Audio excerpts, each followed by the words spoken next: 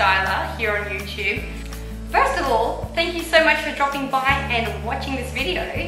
And second of all, welcome to all of my new subscribers. It's absolutely amazing to have you on board and join this creative, small but really quickly growing restyler family of ours.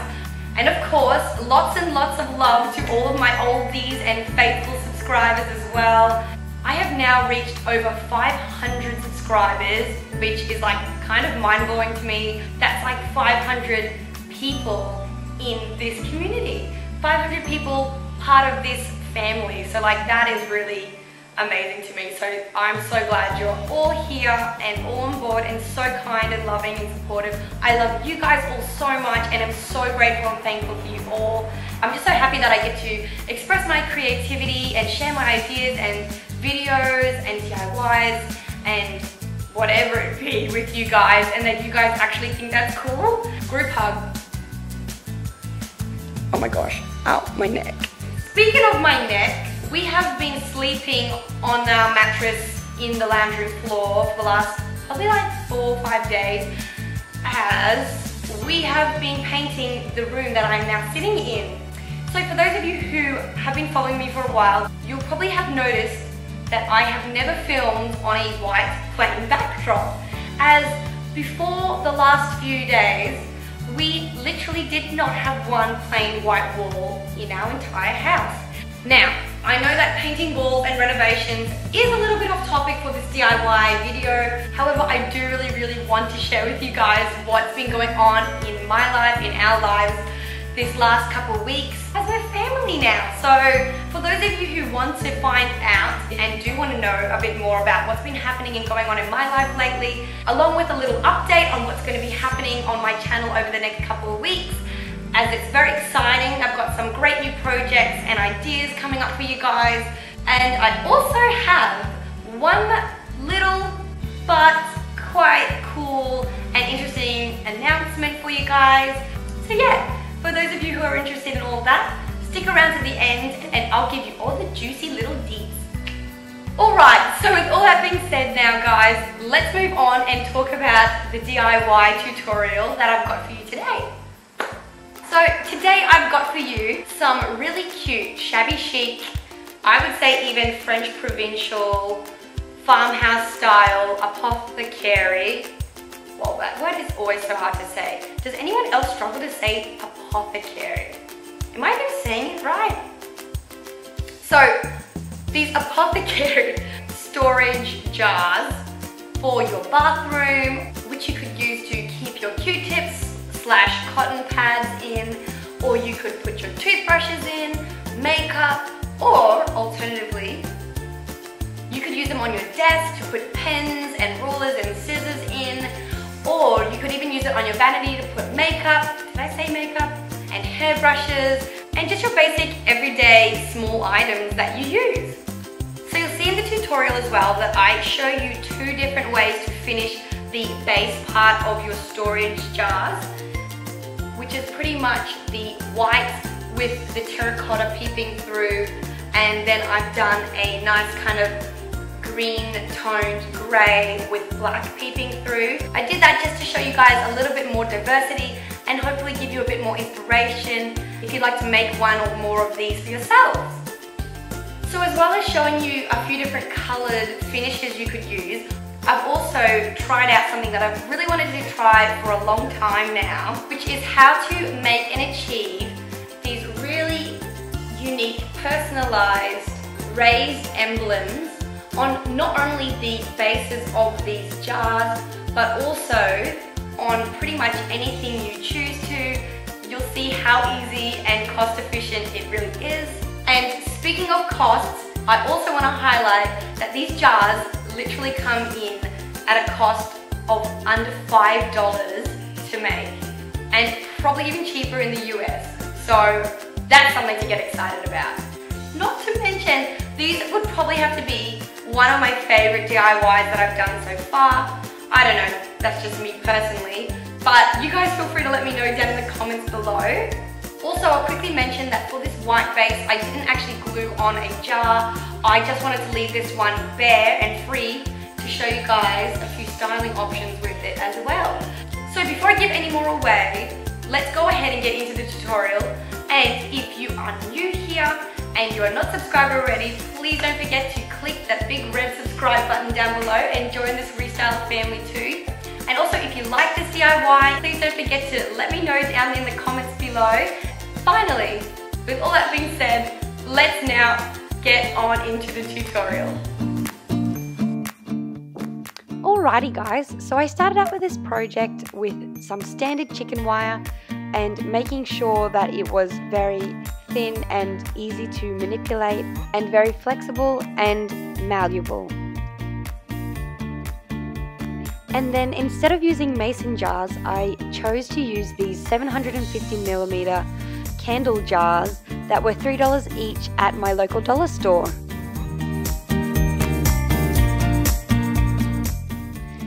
And now for the base part to these apothecary jars, all that I used were some small terracotta pots and some matching corresponding terracotta pot plates. I also used some very thin malleable wire along with some basic jewellery wire cutters and pliers, some Rust-Oleum flat black spray paint,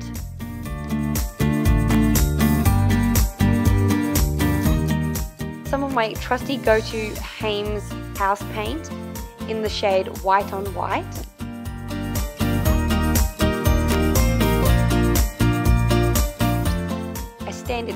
paintbrush, and trusty old hot glue gun and hot glue sticks.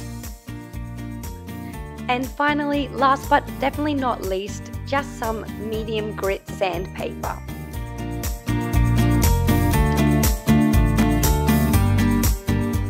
So I started out by measuring the circumference and the height of my candle jar, just using a standard tape measure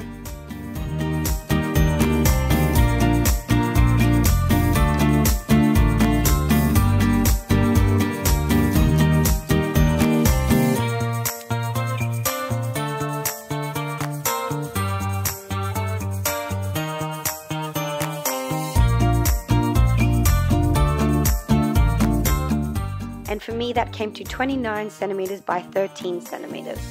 So once I had my measurements, I then unraveled my chicken wire and then marked out the measurements that I needed accordingly. And I just used a permanent marker slash sharpie to mark that out onto the chicken wire to help me see where I needed to cut.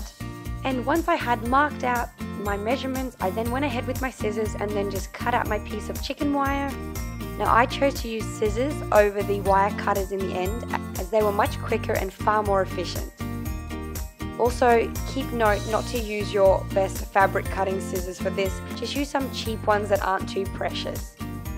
So because I chose to make two jars, I then cut out two pieces of chicken wire. And here I'm just neatening up and cutting off any extra long scraggly bits of wire to make it safer and prevent leaving any sharp edges remaining.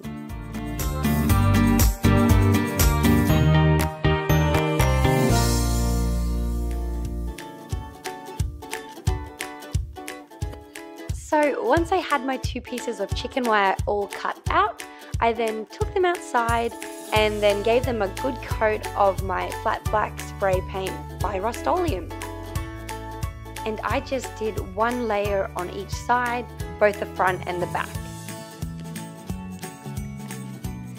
Now moving on to the base part of these apothecary jars, I just took one of my terracotta pots and flipped it upside down and then taking my black sharpie marker, I just sketched out and drew my own personalized emblem that I wanted on there, an F for my last name, Foyce, of course,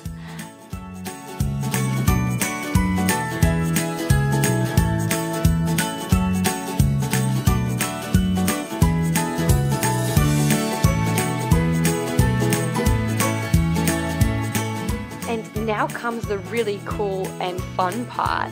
I then just took my hot glue gun and filled in all the black gaps that I had just drawn out with my marker, just like colouring in but with hot glue gun.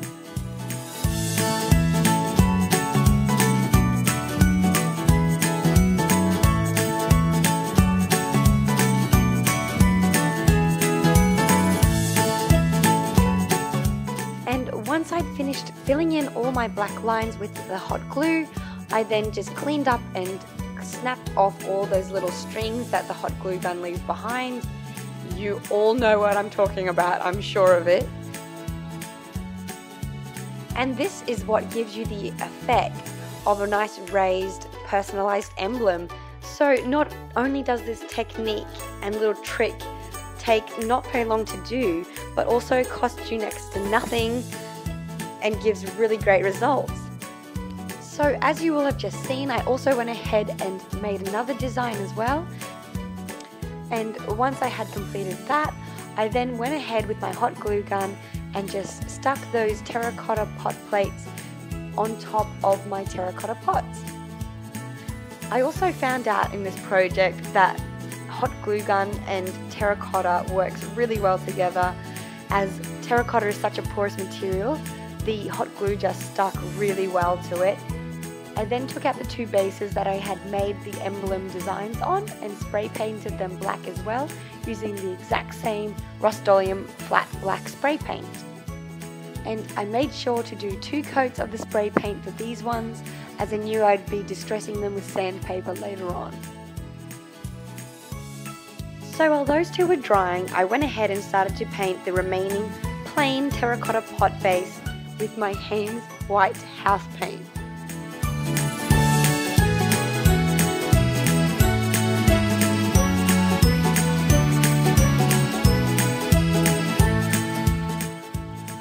And once I finished painting that, I set it aside to dry as well. And then I started to make and mix my own coloured paint using that same white house paint from before and just adding some plain black acrylic paint along with some green and different coloured bits of brown and ochre yellow coloured acrylic paints together to reach my desired grey green shade that I was aiming for.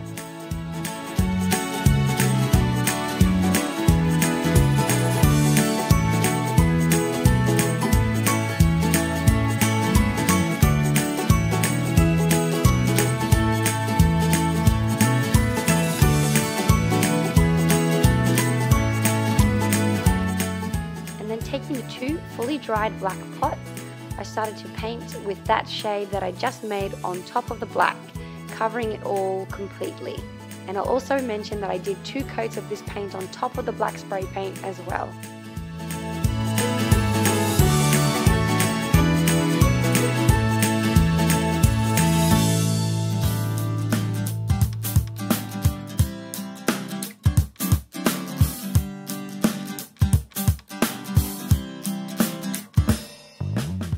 And then once I had set those two aside to dry, I then took the exact same paint and brushed on two coats of that into the lids of the jars.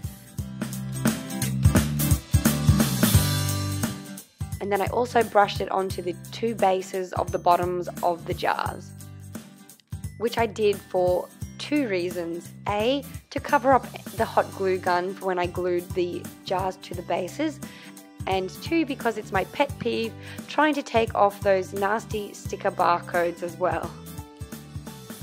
And so once that had all dried, I then took the freshly sprayed black chicken wire and wrapped that around my jar. And so then to secure it, I just took that fine thin wire and started to weave it back and forth through each hole of the chicken wire from side to side pretty much just like you're sewing it together but with a wire.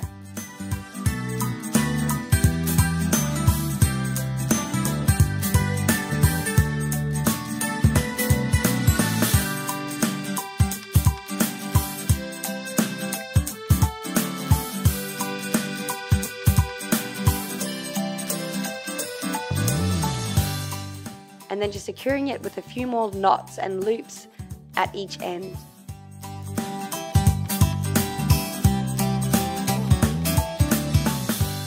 And for the final part of this step, I curled in all the remaining sharp edges towards the jar using my jewellery pliers. And then once the two bases had fully dried, I then took my sandpaper and sanding block and started to rub and sand off the paint in the areas and parts that I felt that the pots would naturally have distressed in if it was happening over time, like all the outer corners and edges. And this part's also really fun as you start to see the colour that you painted underneath start to peek through.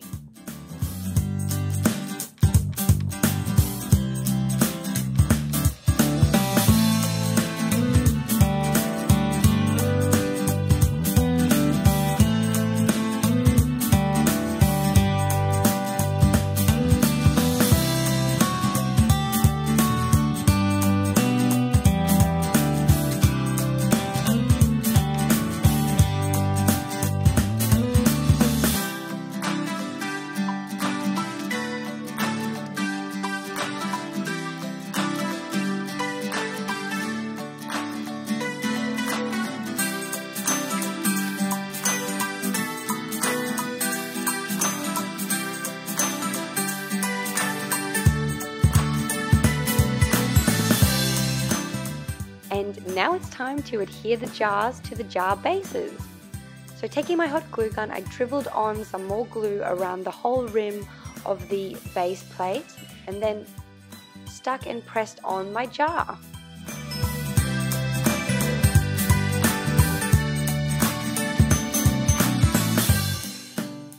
And voila! It is finished! And then for a final finishing touch, I then took some black twine and wrapped it around the knob a few times and secured it with a bow.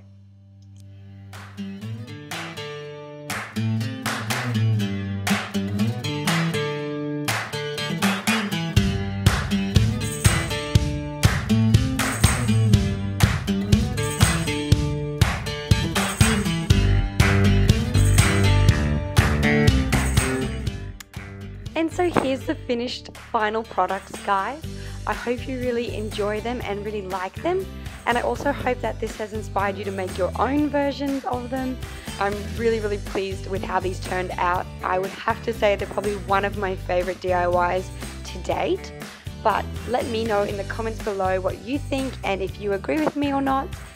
I'd love to hear your opinion too. And so here I'm just showing you a few of the different ways that I thought of that you could style or use these items in your own houses, i.e. for toothbrushes, hairbrushes, cotton pads, q-tips, makeup, pens and stationery, or I just thought you could even use them in your kitchen, preserving food products or holding utensils. So yeah, the list really does go on guys.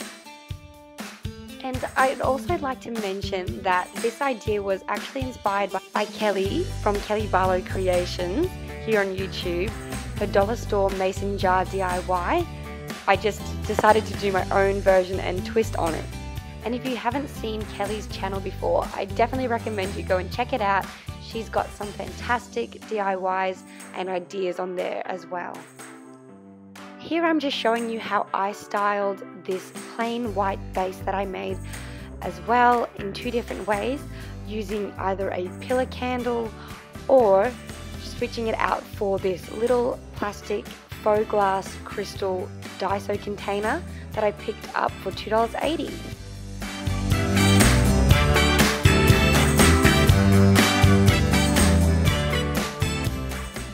Alright, so there you have it guys.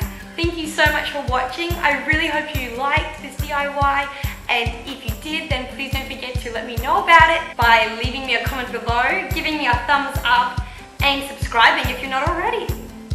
So with all that being said, let's get on to this little update that I was telling you about before. So you may want to get a little bit more cozy and comfortable, get a drink, get in your favorite chair or get on your bed and just relax.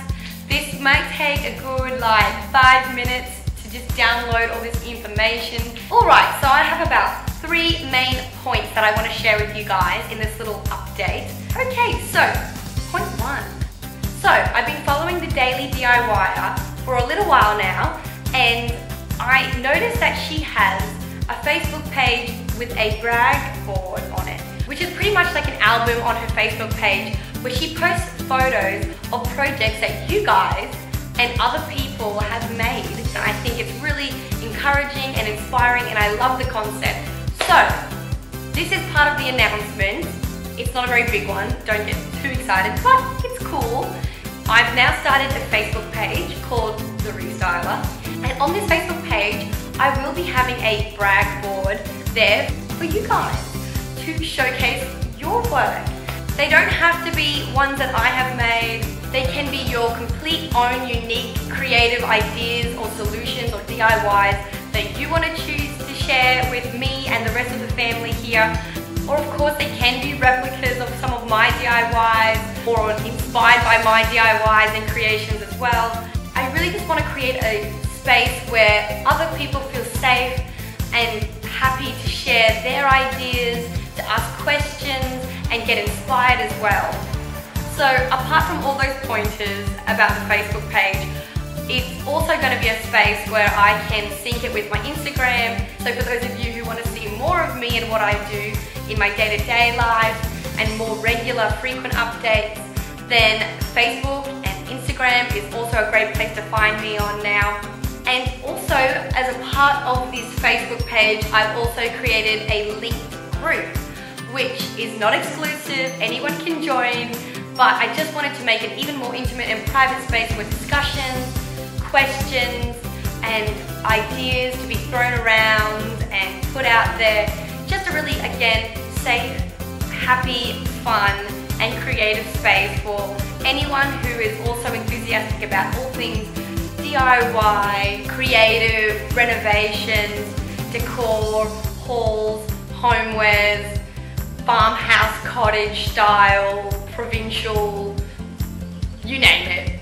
And just create a real tight-knit family community on there as well for us. So I'll put all the links to those down in the description box below, of course. So of course, please feel free to go and like the page and share your projects and ideas and thoughts with the group. And go ahead and join the group if you want to as well. And that's pretty much that. So I'm excited about that, guys. I hope you are too. And now on to point two. So point two is pretty much just giving a little bit of info and update about our renovations. So not many of you probably know this, but I will announce this now. Davide and I have officially started renovating and doing up our house. We are really excited as we finally have white walls in our house, which we've been wanting for so long. Well, at least a good six months now anyway. No, maybe even more. Probably more, because before I even moved into this house, I wanted to paint the walls white. So I'm gonna go ahead and say like nine months we've been wanting to do this. So we finally finished our first paint job in the house and we started off with our master bedroom, which I'm sitting in right now. It did take us about five days to finish painting because we have shiplap slash VJ walls all throughout our house, which just is a lot more time consuming than a regular plasterboard. Obviously, because you have to cut into all the different grooves, every single groove pretty much, and also masking out things and taping things off and cutting in it's just more time consuming as well because of all the little ridges in the wood. But we made it, we got there in the end, and I'm really happy. And I also must say that I feel we've become quite the painters. If anyone needs their home painted, we're your people. But seriously, no, we're not. We, we do not claim to be professional painters in the least. Anyway, so with that being said, I will announce now that I will be starting a new series on my channel. I don't know what it's going to be called. What should I call it, guys? If you have any suggestions, let me know. But it's going to all be about just us making over and renovating our house room by room, section by section. So that's going to be fun and hopefully give loads more inspiration to you guys as well, as well as a great learning curve, mainly for me and Davide. But if we can help you guys learn something too, then that's even more fantastic. I'll have a video of the complete makeover of this room up probably and hopefully by the end of next week. So stay tuned, I'm really excited for that one. And now on to the last and third point I'm also starting another series here on my channel called My Magnolia, which I'm super excited about and I've been planning for a few months now. As you may know, I am quite a fan of Fixer Upper, Magnolia Market, Joanna Gaines, Chip Gaines, just the whole family, the whole show, the whole style, everything farmhouse. So for this series, if you haven't guessed already, it's gonna be about all things Magnolia Market. I'll be showing you all how to do DIYs to get the look for less or just how to get the look in general because there is no Magnolia Market in Australia yet. So that is my main stance for doing this series because I really love the products and I do not think they ship internationally, or at least to Australia yet. I'll also be doing a collaboration in this series with another YouTuber whom I'm sure you all know already as well, to which I will leave as a surprise for a little bit longer. And I think with all that finally being said, I have shown you the DIY, I have updated you all and I really hope you enjoyed this video. Thank you so much for sticking around to the end for those of you who have. And also a massive, massive thank you again to all of my lovely subscribers. I really appreciate all your love, support, comments, and just your kindness and generosity and really just welcoming me so well into this amazing community here on YouTube. I really appreciate it. I hope you all have a great day, evening, night, week, and until next time guys, see you later.